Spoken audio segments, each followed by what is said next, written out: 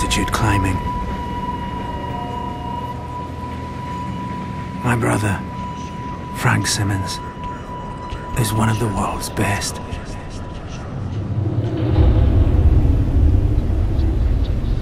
Three days ago, Frank set off to climb Chomolonzo with a climbing partner, Paul Ward. He's still up there. Somewhere. To make the climb by Edward Bennett. They were supposed to recover an ancient artifact that Bennett knew about. But after they found it, they had some sort of argument.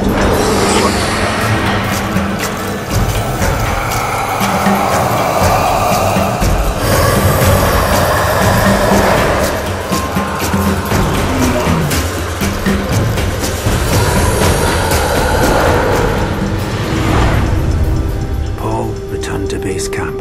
A storm blew up, and now none of the Sherpas will set foot on the mountain they call the Sacred One. So, once again, it's Eric Simmons off to rescue his kid brother. And I swear, if I find the stupid bastard alive, I'm gonna kill him.